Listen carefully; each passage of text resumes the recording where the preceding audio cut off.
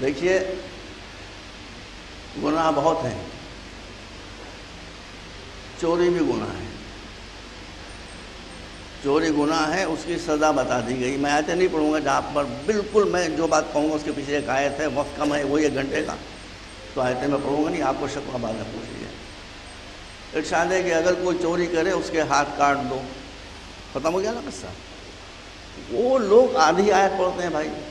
उसके आगे लिखा है कि चोरी जो करे उसके हाथ काट दो, लेकिन अगर तौबा कर ले तो फिर हाथ नहीं काटे जाएँगे। अल्लाह गफुर रहीम है। देख लिया आपने। गबन,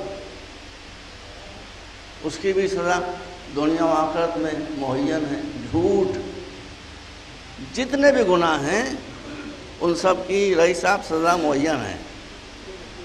और आखिरत में जो होने वाला अजाब है, वो भी बता दिया गया है।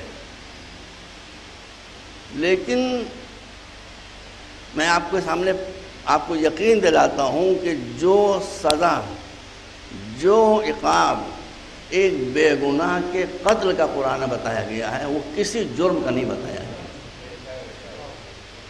ये किसी जुर्म का नहीं। अब आप आया सुन लीजिए टुकड़े टुकड़े में पढ़ रहा हूँ कि आप समझ ले बात को। वमन यकतुल मोमिन मुतअम्मिदन जो शख्स, जो क्रिमिनल बदमाश, खबीस, किसी मोमिन को जानबूझ कर कत्ल कर दे, अब सुनिए सजा कर फजदा जहन्नम, वो सीधा जहन्नम में डाला जाएगा। कुछ रिवायतें बताती हैं कि कुछ गुनाहगारों को जहन्नम में डाला जाएगा, बाद में उनको निकाल भी लिया जाएगा किसी वजह से या सिफारिश से। यहाँ क्या है कि फजजा ओह जहन्नम खाल फीहा। कोई मुजरिम जहन्नम से निकल सकता है, बेगुनाह का कातिल जहन्नम से कोई निकाल नहीं सकता। हमेशा हमेशा कभी कोई दुनिया की ताकत उसको नहीं निकाल सकती। वो जजा हो जहन्नम फियार। भाई, हो गए किस्सा ख़त्म। वह गज़ब अल्लाह जहन्नम में जाने के बाद अल्लाह अलग से भी उस पर गज़ब करेगा। अब जहन्नम तो खुद ही सड़ रहा है वो। अब क्या गज़ब करेगा? नहीं। ये अल्लाह का गैज़ गज़ब है। वो नाहक पर जो अल्लाह गज़ब अल्लाह अल्लाह उस पर अलग से और गज़ब करेगा। वलानहू अल्लाह उस पर लानत करेगा। यानी अब वो कहने को शिया हो, मगर उसका नाम हुसैन के चाहने वालों के साथ नहीं आएगा, यजीद मलून के साथ आएगा।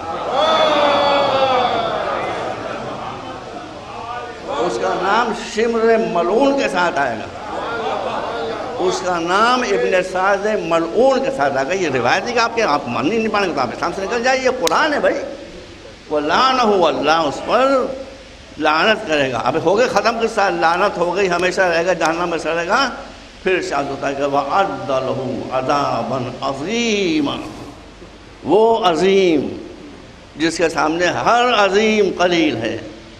वो ये कह रहा है कि हम कातिल पर इस सब के बाद अलग से स्पेशली बना हुआ बहुत बड़ा अदाब है